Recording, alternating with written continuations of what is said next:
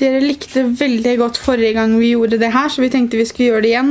Vi var på Rema, for vi handlet for farmor, og da handlet vi et par ting til oss selv også, så jeg tenkte jeg skulle vise frem hva det er vi kjøpte.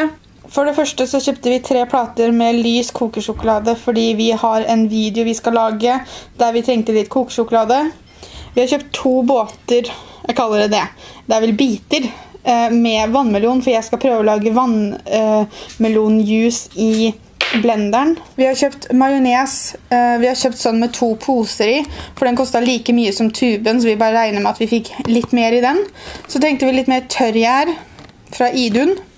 Så har vi kjøpt krepsehaler i lake, for det skal vi også ha til en video.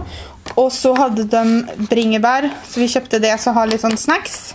Bananer, og så hadde de tre kjøttdeig av kylling og kalkun satt ned til ti kroner stykket fordi det går ut på dato. Det her er sånne ting som jeg og Guro pleier alltid å se etter når vi er på Rema, fordi jeg er veldig flink til det å sende, sette ned ting eh, som går ut på dato. Og det bare kjøper vi og legger i fryseren eller bruker med en gang, men det er en helt genial måte å spare penger på, for da fikk vi liksom tre for 30 kroner, og det er liksom halv pris av hva de egentlig koster. Så det er jo bare perfekt. Så kjøpte vi også noen sånn grøns, frosne grønnsaker. Vi kjøpte en av den soppblandingen her med litt sånn forskjellige sopp. Vi har lyst til å lage en soppstuing. Så kjøpte vi en med rosenkål, for rosenkål er favorittgrønnsaken min. Vi kjøpte en med lapskausblanding, for den bruker vi hvis vi skal lage supper eller sånne ting. Og så kjøpte vi to med smoothieblanding. Vi har en med drue, banan, eple og kirsebær, som Guro synes hørtes veldig god ut, og det skal jeg si meg enig i. Og så måtte vi jo ta en litt sånn grønn da, med grønnkål, ananas, mango og banan.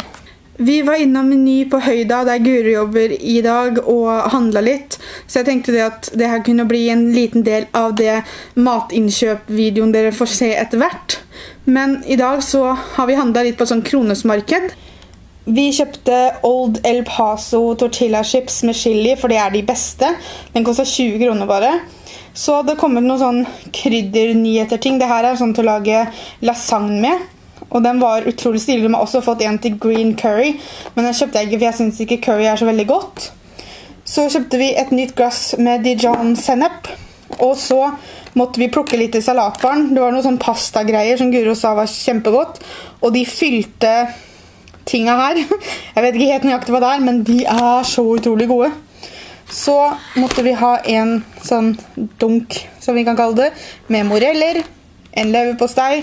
De hadde også fått en sånn ny ting som det her, som er da i samme som de har pizzadeiger og sånne ting, men det her er focaccia-deig. Noe som vil si at det er liksom ferdig deig, så du kan lage focaccia-brød, og focaccia-brød er jo så utrolig godt. Så det her har jeg kjøpt som jeg og mamma kan ha til middag på lørdag. Så hadde det også kommet noe nytt sånn tacokrydderting som heter hot cayenne. Det tror jeg kommer til å bli sterkt litt, men man må jo prøve alt nytt. To teriyaki wok-saus, en sweet and sour wok-saus og en sweet chili wok-saus. Og så har vi også kjøpt en pakke med ribberull, som er veldig godt. Um, og bare litt sånn kjøttpålegg som vi har i kjøleskapet. Det er mandag, og jeg har vært på en liten runde for å finne litt tilbud og sånne ting av mat. Siden jeg har vært på ferie nå, så vi, trenger vi å fylle opp kjøleskapet litt.